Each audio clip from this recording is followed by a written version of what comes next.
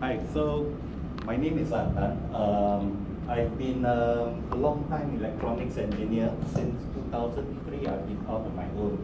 So mainly I do uh, customized electronics for factory testing. Yeah, so there my background was all derived from all these test and instrumentation gear. I also belong to a group called the Hackware Meetup Group that's on Facebook, of which two of the many founders are here, Chinmay and Sayanee. Yeah, and um, I occasionally or more like infrequently give some talks on this uh, meetup group. So last year I gave some talks on my NB-IoT project, um, which isn't successful despite all the years of experience. And here I am today to share with you what these um, difficulties I had. So what is IoT, right? So IoT is just a collection of um, devices connected by the network to mainly collect data and possibly actuate uh, physical actions.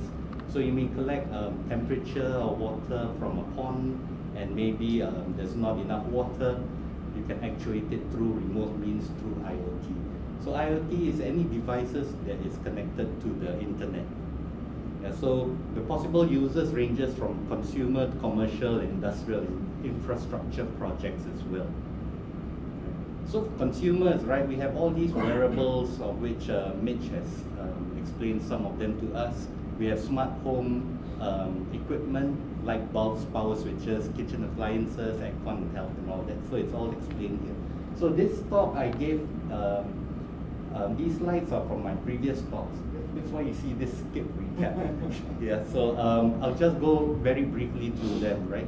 So despite me being an um, electronics engineer, the only internet connected gadget I have at home, um, apart from laptops and my smart TV, is a light bulb. Yeah, that's all I have at home. So my experience with internet um, gadgets is not a lot. But um, since I've been reading up for to implement this project, I discovered that there are many, many more things out there. So for my case, right, I have a friend coming to me because he discovers that I can do electronics. he wants to implement an IoT project for his farm, right? So it's in a remote location where he has water pumps and he wants to measure the water flow and the water quality, right? So it's in this farm, right, power and wired internet is not so readily available and he wants to take several readings per hour. So this is perfect application for internet through um, wireless transmission and that he has many locations wiring all these sensors and gadgets is not so. So there are some considerations with this project. He needs long-term operation running off batteries. If the batteries don't last, he wants it rechargeable also. It has to be in a robust um, enclosure so that it can survive the elements outside. So the size is not a main concern here, although he wants it small enough for portability to ins for installation. So in the locations, there are possibly no Wi-Fi unless it's near his shed or a farm shack. And um, we have to consider also the low data rate limitations. So the type of peripherals, he doesn't want to tell me, right? He just tells me what interfaces he wants for this project. So um, now, there are several IoT connection types. Starting with the oldest, we have the um, serial connection, yeah, we have Ethernet and fiber. So those are the ones we are not looking at. We are looking at all the wireless um, options available. There's Wi-Fi, there's uh, RFID, there's ZigBee, which is quite popular in uh, long distance and um, consume very little power. There's Bluetooth Low Energy. Unfortunately, that doesn't do the distance. There's Sigfox, LoRa, and lately, um, the cellular companies like um, Singtel, M1, they have released a thing called the NB-IoT.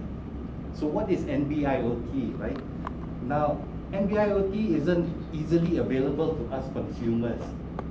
First, um, it's only available B2B.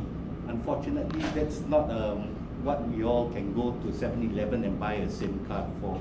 So um, you have to meet up with one of their business people and then uh, have a long chat, blah, blah, blah, and then uh, maybe you get uh, evaluation SIM cards like the one I'm holding now, right? So what is NB-IoT is that in, um, I'm not a cellular expert here, but these are things I picked up from the internet. What it is is that in the um, bandwidth given allotted to them by the government for cellular services, your 3G and 4G mobile phones, yeah, they take a little portion to do low data rate transmission. Yeah, thereby they can rely on the current infrastructure of all the cell stations they have in the country or countryside and use a small portion of that bandwidth reserved for NB-IoT, narrowband. So these four statements, uh, 4G LTE means your fourth generation long-term evolution, and um, the long-term evolution is being a type of 4G, which is prevalent in our modern phones. So you have the fast LTE categories. Those are the ones that are used by the phones. They require high data transmission rate to support all your videos, your Facebooking, voice call, video calls, and all that. Now the reserve um, bandwidth in this slot given allotted to them, right, is called narrowband IoT. It just uses a small subset of the bandwidth and uh, it limits the uh, data rate to uh, to fit within 200 kilohertz of the um, band allotted to them.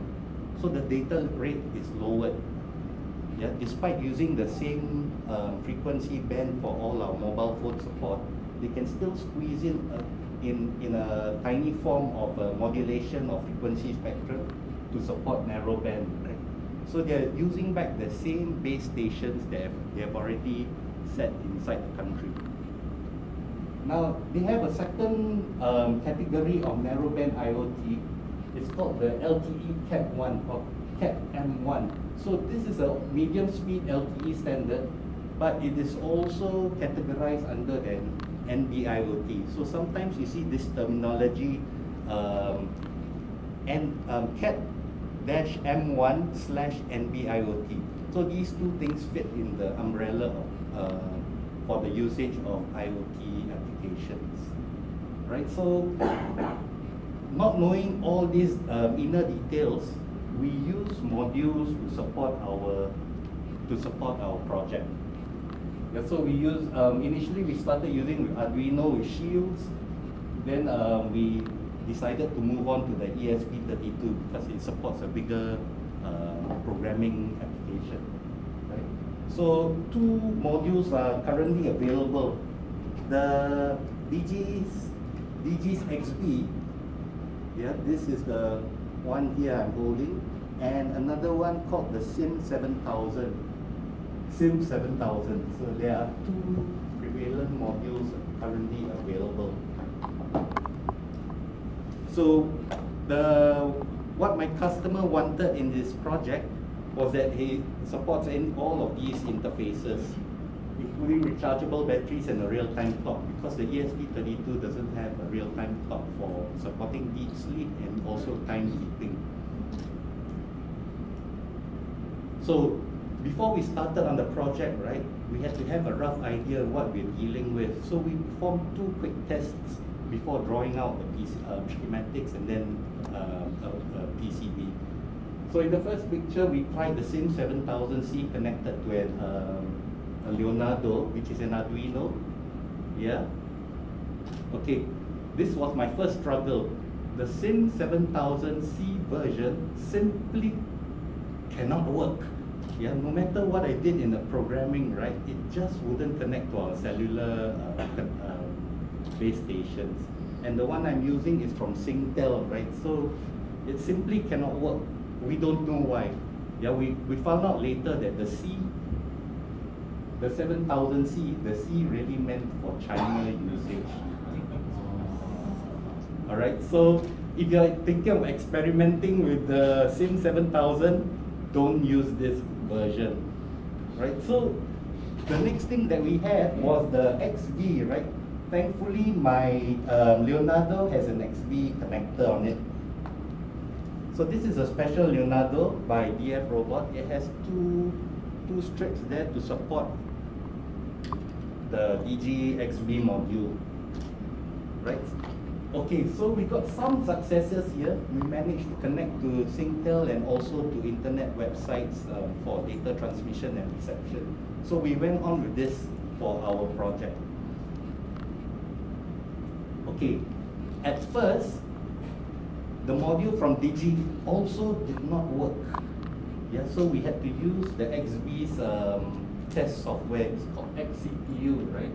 So it it gives a whole list of parameters that you can adjust. Yeah, and the difficult things that we had to find out is where do I get this number, uh, the name STM-IoT? Yeah, so we had to dig through the web, not having good support from Singtel themselves because their own application engineer is being pulled left and right, so he had hardly had time to answer phone calls. Yeah, so we found out that this one was a stumbling block and also two more parameters, which is the band masks set for this country's, uh, also for Singtel's um, transmission. Right. The second struggle is that things still, didn't work as well because the XBee that I got was an earlier version. So it was at firmware at 1140B. So after upgrading through all the steps, it finally started to work properly. Yeah, so this is another thing that um, the websites and the web page support pages don't tell you readily, right? So you have to experiment it for yourself. So this was the second struggle. It took many, many weeks to discover all these things, and which we finally decided to. So, okay, the third struggle is that even after we got the connection, things broke. Why? Because the SIM card expired.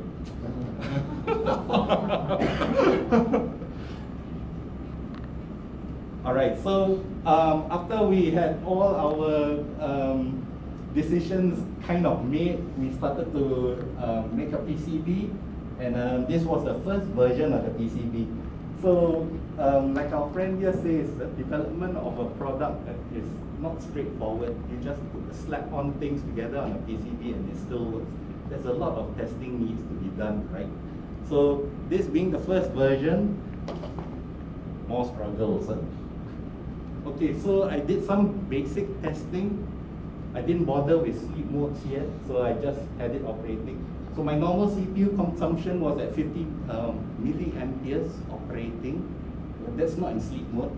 Uh, but when it connects to the cellular network, it consumes 151 milliamperes.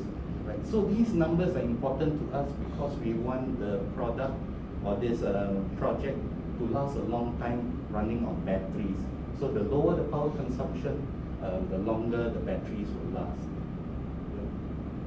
So I finally um, did some testing. It works through the internet, but when I did the sleep mode testing with the ESP32, the power consumption was good. Um, my target was um, was 100 microamperes or less. 200 is a good um, starting point. Sorry, I, I don't have a picture for that. But the CPU wouldn't wake up from sleep. So there, therein lies another struggle. Damn it, everything works. It's just the CPU won't wake up, right? So I can't put the uh, CPU to sleep. So I could only demo it with my friend running at 56 milliamperes and 150, 151 during transmission. Okay, there was a little disappointment, right? So what's a hardware talk without some schematics? Right, so, okay, so this is my power solution for the um, electronics on this board, yeah? It's only a portion of the whole schematics, uh, but the schematics isn't very large, it's just one page. So this is a portion. So my battery charger, I relied on a benchmark, Texas Instrument 24170, right? I spent a lot of time um, reading up and configuring this IC that I think I'm falling in love with it. Yeah, that I failed to pay much attention to the actual regulation of the power. Right? So the battery charger works. I like it. Yeah, it works great. The main regulators, right? I thought, hey, you know, it's just um, it, it, it's not a full-time project anyway, right? So I just slapped on the 6-pin SOT23 buck regulator hoping it will regulate 4.2 volts into 3.3 volts required by the system, right? I felt a bit iffy, so I just slapped on another alternate LDO regulator. My main concern for choosing the buck regulator was in the quiescent current. The less the quiescent current um, contributes much lesser to the system current, um, prolonging battery life. So this one's not bad. It runs at 1 milliamp operating. However, I totally overlooked the minimum operating voltage of this buck regulator. Hey, I only want 3.3 volts, right? A regulator should take just a little more and start to work, right? This one will not work at all. It was a bad choice, right? After reviewing the um, data sheets, I discovered that it required 4.75 volts to start operating. So it was already a bad choice. Um, thankfully, I had the LDO as an alternate regulator, and I performed my test earlier using this one. So in this design, this first version, that regulator was totally useless, right? So now, um, um, continuing the test of the sleep mode, right? I discovered that running from 4.2 volts regulated down into 3.3 volts, even with the LDO, the ESP32 gave me problems. So that was a struggle also, right? When I first started testing, I had um, no idea what's causing the CPU to not work properly coming out of sleep mode until I tapped on the scope, I measured the power rails. Now, it sleeps with 200 microamperes at 3.3 volts. But during wake up, when it's restarted, right, there was a power spike in the ESP32 consumption all the way up to 200 milliamps. So, I, you know, I practically went through forums and other people actually reported the same thing. Yeah, that consumption of the 200 milliamps is not from the CPU, but from the flash supporting the CPU. So what ESP32 does when it goes to sleep, it kills itself and on wake up, it reloads the entire application firmware into ESP32. So the initial rush of program coming into the ESP32 really makes the flash work. And the flash is the one consuming much of this power spike. And I could observe on the scope, it takes about 60, 70 milliseconds, and then it stayed quiet. So ESP32, the module went into coma. so that was the first bad design, right? Okay, the second version, ah, I started to read up more on the um, power regulator ICs. Here I found some good ones here. And um, this was a possible solution. Uh, it's from NS, or National Semicon had been bought over by TI. So this is a TI part now. It's LM46001. So now when I look at um, the data sheets for the power regulators, actually the, wow, the lower the quiescent current, the better, right? So this one's quite good. It, it, it claims in its data sheet it will take only 24 microamperes quiescent current. Wow, that's really small. So um, I implemented it on the second PCB. Uh, here, yeah, and um, I measured its no load condition, right? It consumed only 42 microamperes. Wow, elated. Then um, I went on, so I put that one, that the old LDO back just in, in case that wasn't needed, and um, this project started to work. So, although the regulator took only 42 microamperes, the entire system, including CPU and all the supporting um, supporting electronics, right? For the system, during sleep mode, it consumed a total of 120 microamperes, nearer and nearer towards my target of 100 microamperes. So, okay, so currently I have some issues with the second version. Looks like I'm going to spin for a third one. Yeah. Again, I forget to put a reset button for CPU. That's very important, yeah. When they're developing, sometimes duh, the only way to reset is to run the Arduino IDE and hit upload again. Okay, so there are other things I found out about using the ESP32 module. Only some lines can be made to wake it up, not all of them, right? So, um, okay, that third point is not important. Now, XBee3 from Digi is very expensive. It's 147 U- uh, Sing dollars. So when I research, 18,000 is only like 21 dollars. Yeah, so ah, now, but that's not so not so bad because I also made a recent discovery and I actually tested it. The SIM 7000E. I don't know what the E means. C for China, E for Europe. Ah, Euro. Thank you. Okay, so that works with the Singtel SIM card. Yeah, so now my project is pushed in the totally new direction. I am going to use this new 7000E instead. Yeah, so that isn't even on the drawing board yet. Upcoming uh, talks maybe. Yeah. And then um, another recent discovery, right? I, the buck regulator I've been using is a downward voltage regulation only. So my lithium ion cell of 4.2 volts will eventually deplete and the voltage will go less and less. And then um, eventually I won't get enough voltage to supply to the system electronics. Yeah, 4.2 volts to 3.3, no problem. 4.1 to 3.3, no problem. When it reaches maybe 3.5 volts to 3.3, the buck regulator may start to behave funny. So this new regulator that I discovered, it was shared to me by face, um, our Hackware member also. I don't know whether it's here today. Joe Virgil. No? Okay, he shared to me it's a buck boost regulator.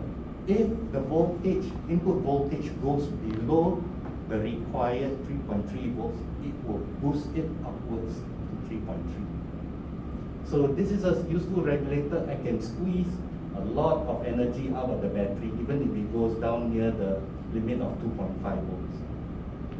So other buck regulators exist, but maybe expensive. So is my project open hardware? No, not yet. I'm too frightened. I'm too embarrassed. It doesn't work yet, right? Most of the times I see on the web of all these open source hardware projects, they're fully working, fully tested, you know, and that's what they call a release. So I'm too embarrassed to put it out on the web just yet. But my third version is coming. So with that, um, I end my talk. Right?